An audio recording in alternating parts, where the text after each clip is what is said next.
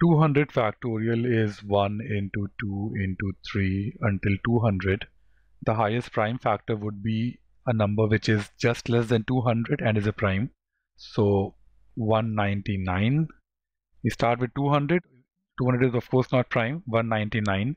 199 itself is a prime number. How to check it quickly? What you need to do is find the square root of the number that you're trying to figure out to check whether a number is a prime number.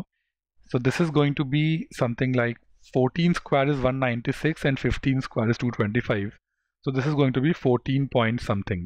So always round it off on the lower side 14 and now check for all the prime numbers between 2 and 14.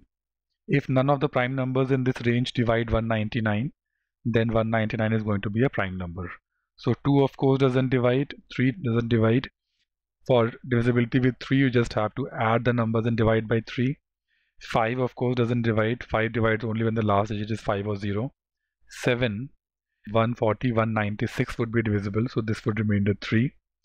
11 divides when alternate number add the alternate numbers 1 plus 9 10 and subtract the other numbers 9 10 minus 9 1 so this is going to leave remainder 1 and not 0 11 is not going to divide 13 13 into 15 is 195 so 13 is not going to divide.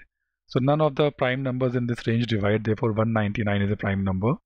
And sum of digits of 199 1 plus 9 plus 9 19 the answer is option C